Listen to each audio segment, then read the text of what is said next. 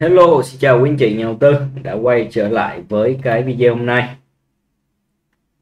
Thì hôm nay mình cũng xin à, làm sơ qua một số cái mã cổ phiếu của anh Quyết thì à, à, lời đầu tiên mình xin chia sẻ với anh chị nhà đầu tư là đối với những mã cổ phiếu này ở trên những vùng giá này thì nó không còn hấp dẫn nữa anh chị, nó không còn hấp dẫn nữa. Nên nếu anh chị mà tham gia vào thì anh chị phải rất là thận trọng và cẩn thận ở trong cái giai đoạn này thì mình chi trẻ của anh chị ở cái giai đoạn này à, thì đối với cổ phiếu nó đang có những cái khu vực hỗ trợ đó, đó là 12.8 thì cái hỗ trợ này cực kỳ quan trọng đối với cổ phiếu FPC trong giai đoạn tới thì bắt buộc nó phải bật lại không nếu như mà cửa 3 tới 4 phiên giao dịch nữa nếu nó tiếp tục nó giao dịch ở trên vùng giá này và nó mất đi cái khu vực 12.8 thì nó sẽ có một cái đợt giảm điểm sâu về những vùng giá đâu đó là quanh vùng giá 11 thì đó anh chị. Thì đây là những cái tín hiệu khá xấu cho cổ phiếu này. Bắt buộc trong cái thời gian tới nó phải bật lại à, một hai phiên tới nó phải bật lại không bật lại thì nó hơi xấu nha anh chị anh chị nên chú ý có hàng thì anh chị nên phải phải theo dõi sát đối với cổ phiếu này để mình có một cái quyết định đúng đắn nhất đối với cổ phiếu FC trong giai đoạn tới. Thì à, đối với FLC thì đi cùng với FLC thì có rốt thì đối với rốt như vậy nha anh chị thì hiện tại nó đang đu bán ở quanh khu vực hỗ trợ là đâu đó là 6.3 đối với cổ phiếu này. Thì cái vùng hỗ trợ đây là thì nó hỗ trợ những cái đường giá thì nó không được mạnh lắm anh chị không được mạnh lắm. Nhưng mà à, nếu mà nó bám trụ được ở trên khu vực này thêm một cái thời gian nữa anh chị thêm một thời gian nữa đâu đó vài phiên giao dịch nữa thì nó sẽ có những cái hỗ trợ tốt hơn.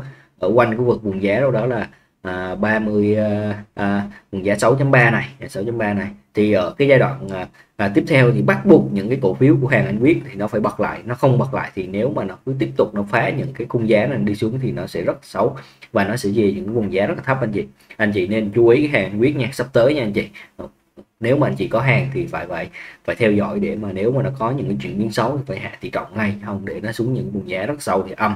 Và cái cơ hội để phục hồi lại những cổ phiếu này là cực kỳ lâu nha anh chị, cực kỳ lâu chứ không phải dễ dàng gì mà để nó nó phục hồi lại đâu ở giai đoạn trước thì cảnh báo anh chị rồi, thì đối với cổ phiếu này, ở giai đoạn trước thì anh chị thấy là đỉnh sâu, thấp hơn đỉnh trước. Liên tục nó kéo dài như thế này và đi xuống những cái vùng giá rất thấp.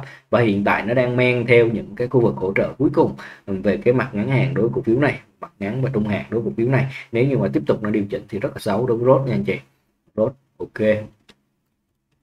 MD đối với AMD thì nó bắt đầu nó xuất hiện những cái tín hiệu là nó mất hỗ trợ rồi nha anh chị. Nó bắt đầu nó xuất hiện những cái tín hiệu nó mất hỗ trợ ngay cả trung và dài hạn luôn đối với cổ phiếu này.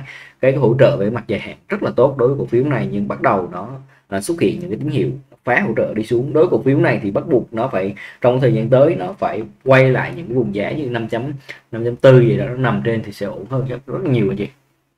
Bắt buộc nó phải nằm lại 5.4 anh chị thì anh chị phải đặc biệt lưu ý đối với AMD trong thời gian tới đây là những cái cổ phiếu của anh Quyết mà trong thời gian vừa rồi làm thấy nó có những cái tín hiệu khá xấu. Anh chị đặc biệt chú ý nha à.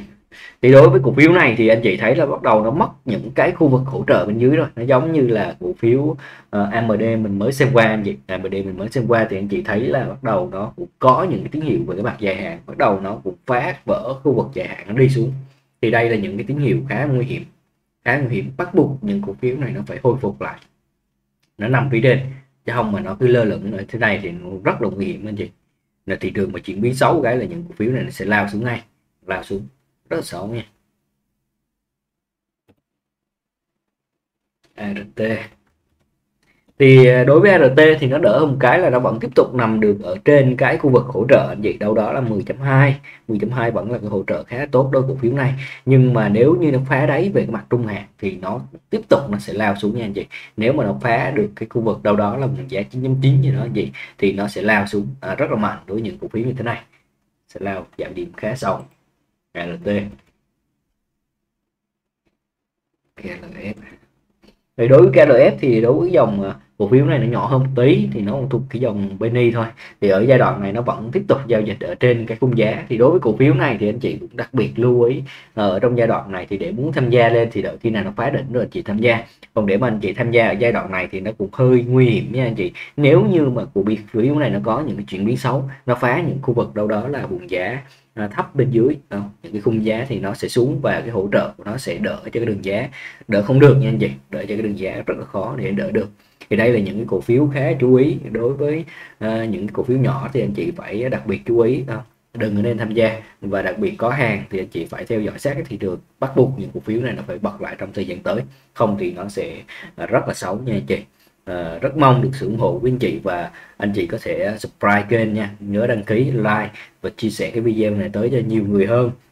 Để cho những anh chị nào mới vô mà chú ý những mảng cổ phiếu này có thể tránh được một cái cú à, giảm điểm hoặc là mất tiền đối với những cục mã cổ phiếu như thế này nha anh chị. Thì anh chị phải chú ý là nếu như cổ phiếu nó tăng giá nó xác định xu hướng tăng thì lúc đó anh chị tham gia. Còn nếu mà nó cứ như thế này thì anh chị chưa nên tham gia vào những cổ phiếu mà nó liên quan đến quyết à, nhiều hơn và đặc biệt một số mảng cổ phiếu nhỏ nha anh chị ok xin chào anh chị và hẹn gặp quý anh chị vào những cái uh, video tiếp theo. Ok xin chào.